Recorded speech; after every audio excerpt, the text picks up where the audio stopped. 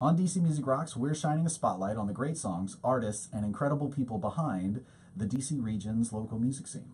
In 2008, Dustin, Mo- Dustin Pett left Maryland to attend Johnson & Wales University Denver campus.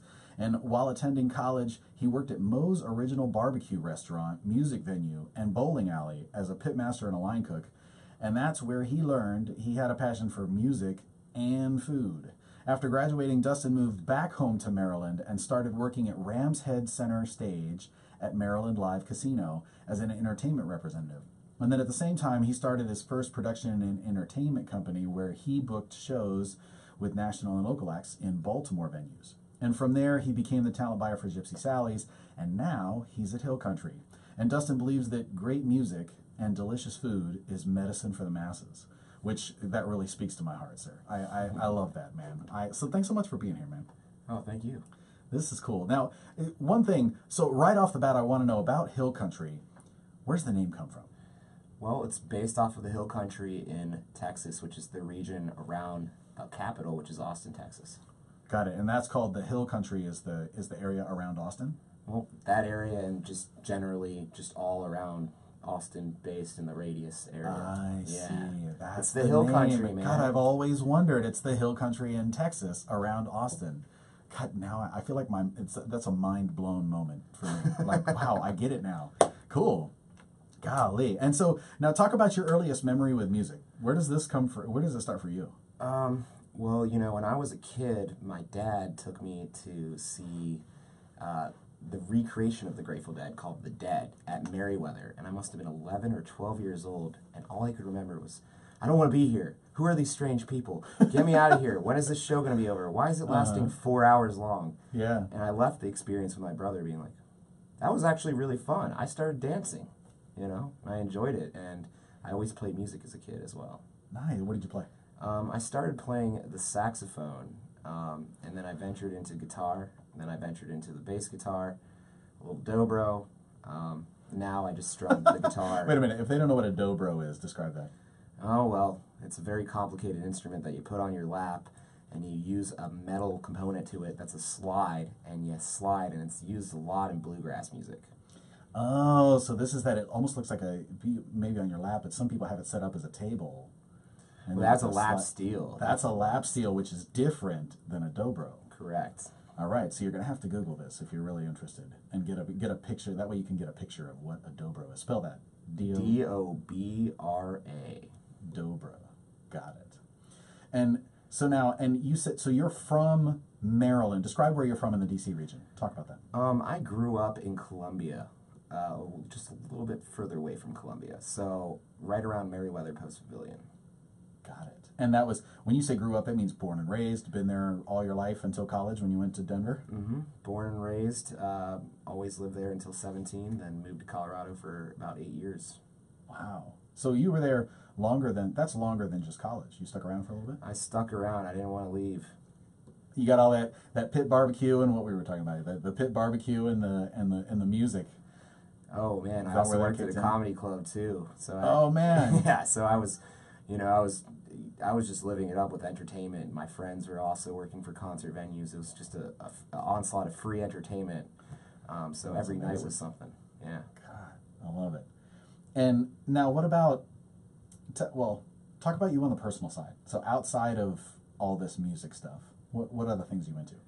You know, I'm actually really into going to new nature areas or hiking, you know, areas where there's trails.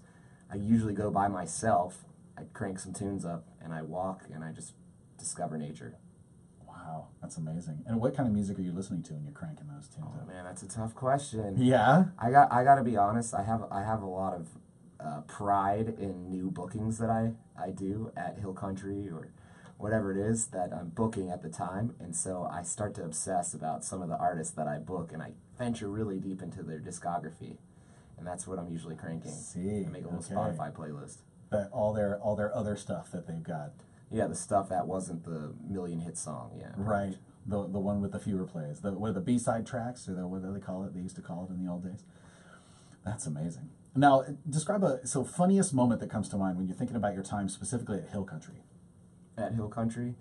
Um, so something that was really funny is uh, a, pretty much like a Texas singer-songwriter legend. His name was Jon Dee Graham. He showed up to the gig about 15 minutes late, but it wasn't really that late, you know. And he was so Wait, what does that mean? So the gig started at eight, and he started it showed up at eight fifteen. He he showed up uh, a little bit after the doors, so you know sound checking was not an option. It was only line checking. Oh, okay. Yeah, Yeah, sure. and, all right. Uh, he was super apologetic about it. I became kind of good friends with this guy, and uh, he left me a note on the wall in the green room. And he, he, he has like a child children's books. He makes children's books on the side. Whoa. And he drew like a, a polar bear looking bear, and he, and he wrote on there. He goes, I, I never miss a gig unless I'm in the hospital or I'm in jail. Love, pretty much, Jon Dee Graham. So did you, so did you find out whether he was in the hospital or in jail? Oh no, he made it to the gig. He didn't. He he just. Oh, this was he just said straight that, up He just wanted Okay. to. He just wanted to reiterate that uh, that uh, even if he was 15 minutes late, that he, he apologized and that if he was ever to miss any gig that I ever booked, it would be those two reasons. Okay. And that he would pin it on Got the it. wall so that I would have it later. that way which you my boss- always reference it. Out, reference My back. boss framed it. It's on the wall downstairs in the club level at Hill Country, so you can go up and see it at any time. That's that's hilarious. Oh my god! All right, now and so now you talked about so talk the different things that you do because we, it's come up in conversation that you do some managing of artists, but then you're booking at Hill Country. So talk about the different aspects of Dustin. Um, so, I mean, firsthand, I'm a talent buyer. Um, I'm booking for Hill Country Live DC and Manhattan. Wait, there's more than one location. There's two locations, friends. So Whoa. if you're ever in New York City you need a place to see either some really awesome live music that could be free, could be ticketed, but for the most part free, Okay. come on down. Wow, Hill Country. Is it also a ba- so it's a basement venue here in DC? You walk into Hill Country and you go downstairs. Is it the same thing in D- in New Same York? model, but bigger. Bigger? Bigger. Whoa. Yeah. Okay, next time I'm in New York, I'm gonna have to check out Hill Country. Okay, so you do booking. I'm sorry, I got totally distracted by the fact that there's now two locations. My mind is blown at the moment. Uh, so now we're getting so there's some talent buying for there, and then what else?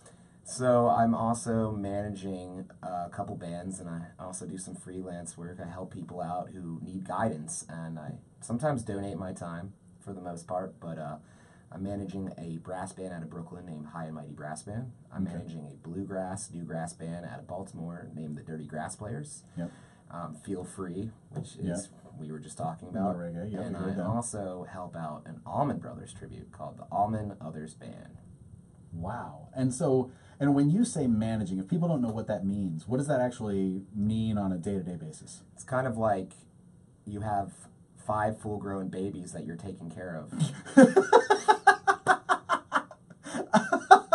Oh, it's like so it's like being a father. I see. It's like being a father to a bunch of people who may be older than you, younger than you, all walks of life. And uh, yeah, you're controlling a lot of emails. So what on earth made you want to do that? That I'm not sure if you don't have a kid already. I'm not sure I would sign up for multiple babies. I don't know.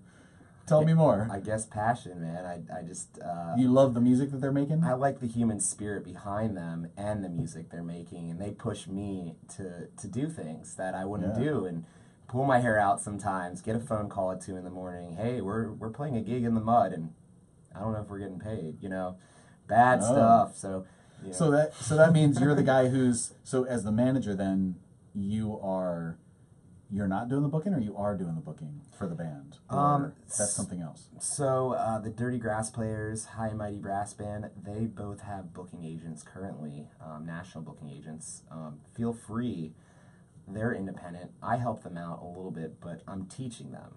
And then the Allman Others is kind of the same thing. They're very local.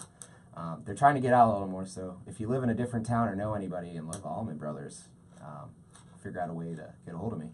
Yeah, so I'm trying to figure out then what you're saying. So what are you doing for the bands as the manager then? So, uh, you know, everything from advancing every show that they play to marketing on their Facebook, updating their websites, making sure they're making music videos, discussing strategy about how can we get our name out there further in the different markets that we're trying to perform at. I mean, there, you know, it's an endless list of, of task, honestly. I, I Yeah. and I didn't realize it until I got knee constant- deep in it. A constant, there's like a constant checklist of things you need. And you know, you mentioned music videos.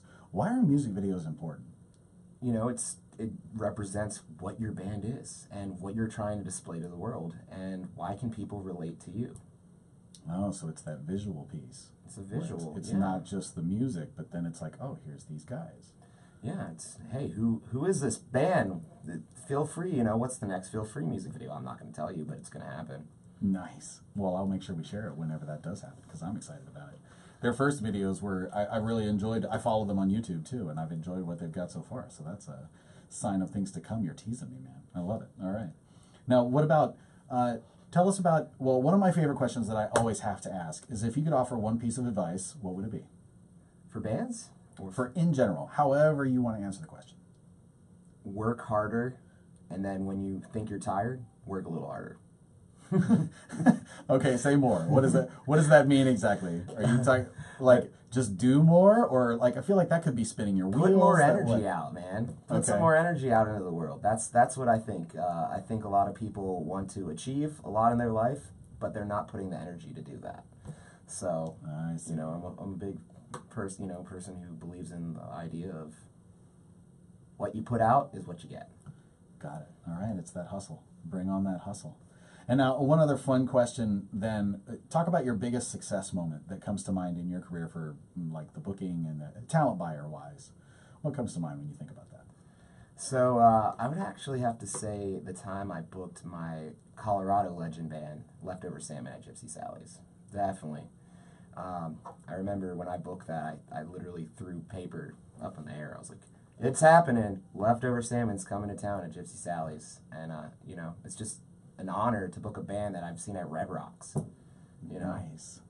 That is cool. And was anybody around to see you throw paper? Is this like in the middle of an office with a few other people, or is it in a room by yourself? Yeah, there was one other person in the room, the other booker there. Um, so there's more than one.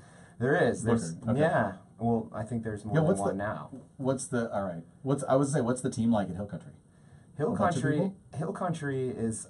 Um, I have a boss in New York. His name is Seth Rothschild. He's awesome. Um, and I, you know, he comes to DC here, there. I'm gonna go up to New York. Um, but for the most part, I work with a bunch of restaurant managers, and I'm a Right. talent buyer. So All right. It, you know, it's a different situation than I, than I thought when I got in there. But I love it, and all the people I work for are some of the nicest people I've ever worked with. You know, that's been the really funny thing. Uh, the fun, funny's the wrong word. Really fun thing that I've discovered working in the local music scene is that there's so many amazing people in this scene. It's one of the reasons I love like having you on the show, and I, I always have different people on the show. It's not just the artists, right? There's so many people behind the music scene, and I love getting to know those people because they're some of the most amazing, salts of the earth, nice people. So, I mean, it, it makes sense that you your coworkers at this place are also really awesome people because you're an awesome person, and we got everybody together. This is cool, man. Yeah, it's kind of like the Brady Bunch. it's a, one big happy family. yep, there we go, the Brady Bunch. I'm gonna try not to get the song stuck in my. If you're listening, do not get the song stuck in your head. Don't do it. Don't do it. So, and one more time. So, for those folks who want to follow you and what's happening at, uh, or well, find out what's happening at Hill Country and all that information, where's the best place for them to go find it? Um, you can either go to the Facebook, which is Hill Country Live, is just the Facebook name, or you can go to www.hillcountry.com slash DC for the DC venue. And if you, by chance, are in New York or have friends, www.hillcountry.com slash, wait for it, NY. NY. It's either DC or NY, but we're talking about DC on this one. So hillcountry.com forward slash DC, and you'll check out the work that that Dustin's doing, setting up amazing shows. And the type of shows they'll see at Hill Country are Uh, we go all over the place Americana, folk, honky tonk, bluegrass, alt country. Like I mentioned, I had a tribute, all metal tribute to the Bee Gees uh, called Tragedy. oh Um, my god. So all over the basically, if you ever thought cowboy boots were cool, everything about Hill Country you're gonna love. pretty much, yeah, That's amazing. to a. T. I love it. Oh my god.